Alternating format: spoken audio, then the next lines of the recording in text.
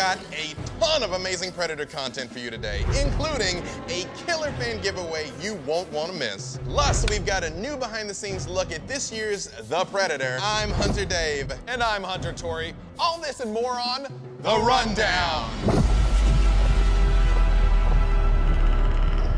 Giveaway alert! Dark Horse Comics has supplied us with 10 copies of their awesome trade paperback, Predator Hunters. Written by Chris Warner with truly amazing art by Francisco Ruiz Velasco. We had a ton of fun with our last fan challenge. And now we've got a new one for all you hungry young bloods. We want to see and hear your best Predator pose. Predator pose? Roll tape.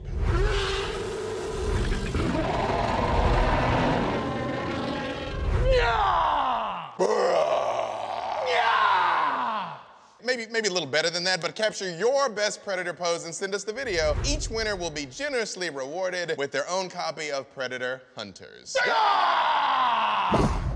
Take a look at these exclusive shots of Shane Black hard at work on the set of The Predator.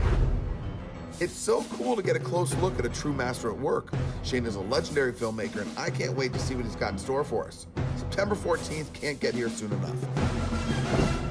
We are here with Mr. Randy Falk of NECA. resident expert of all things alien and predator. What can you tell us a little bit about the history of NECA? Well, the company started in the late 90s and have just been running with it ever since. At this point, we're about to hit 100 different predator figures. What kind of new stuff do you have coming out? There's so much new great content with, of course, the new film coming, with what goes on in the video games, with the Dark Horse comics. There's always fresh territory to mine. We have the badass, the big guy, the assassin. That's the unpainted final sculpt and we're waiting on some more reference and some footage to be released so we can paint them up. Last spring, I got to go to Vancouver and visit the set while we were filming, which was great. That's where I first got to talk to Shane. And at the time, the assassin was still sort of in the infancy stage. There was concept art and early 3D models because it's a completely CG version of the Predator. So we had to wait a while as that evolved and changed, as it often does with the CGI character. So for Christmas, everyone can get the assassin.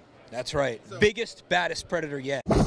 This week's fan of the week is Erica Bada, better known as Clariel. It was love at first sight when she first watched Predator. Though it wasn't until moving from Hungary to the UK in 2013 that she started collecting figurines and other Predator-related memorabilia. Erica doesn't just collect, she also creates. She makes hunter-inspired necklaces, bracelets, earrings, and more. She's a true artist and her work is fantastic.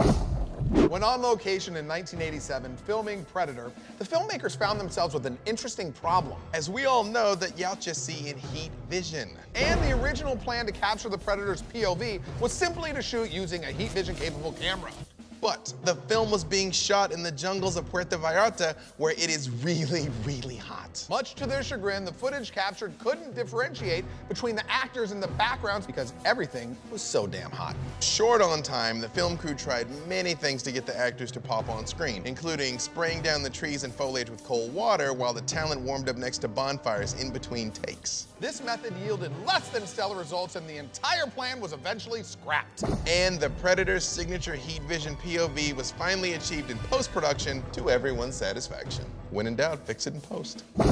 That's all the time we have for today. Make sure to reach out to us personally on the forums and let us know what you think of today's episode and all things Predator related. I'm Hunter Tori. And I'm Hunter Dave. Catch us next time on The Rundown.